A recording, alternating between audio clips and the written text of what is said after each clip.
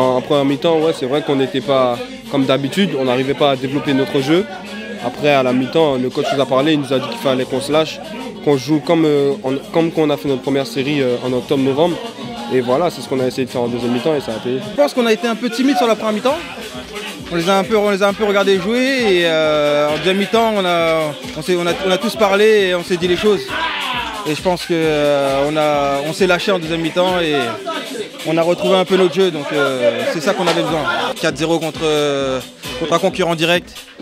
Et deux buts pour moi, c'est sûr que collectivement et personnellement, c'est vraiment euh, une belle soirée. là. C'est mon premier doublé de ma carrière, donc j'espère que c'est pas le dernier. Surtout que ça amène une victoire, donc c'est parfait pour moi.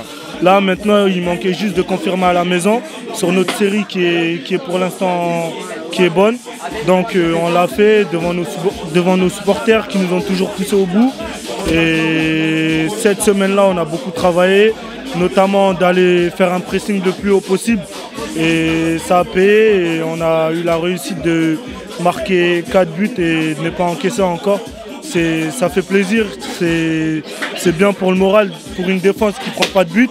Espérons qu'on va continuer ainsi.